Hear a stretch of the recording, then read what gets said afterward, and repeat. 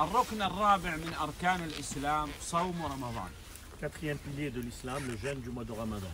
الصيام ينقسم إلى قسمين صيام فرض وصيام نافل Le, le jeûne se, se, euh, se divise en deux types, l'obligatoire et le, le recommandé. من صيام الفرض صيام شهر رمضان Donc le jeûne obligatoire, c'est le jeûne. Parmi les jeûnes obligatoires, il y a le jeûne du mois de Ramadan. نعم لابد أن يمسك عن كل المفطرات من أذان الفجر إلى أذان المغرب Tu dois te- tu dois, tu dois t'abstenir de manger et tu dois t'abstenir de tout ce qui coupe le jeûne de, de, de, de- de l'aube jusqu'à Al-Maghrib, jusqu'à Non. le coucher du soleil. الخامس من أركان الإسلام Cinquième pilier de l'islam, حج بيت الله الحرام لمن استطاع إليه سبيلا accomplir le pèlerinage pour celui qui en a la capacité. يجب الحج على المستطيع Le, le- le- le pèlerinage est obligatoire pour celui qui en a la capacité.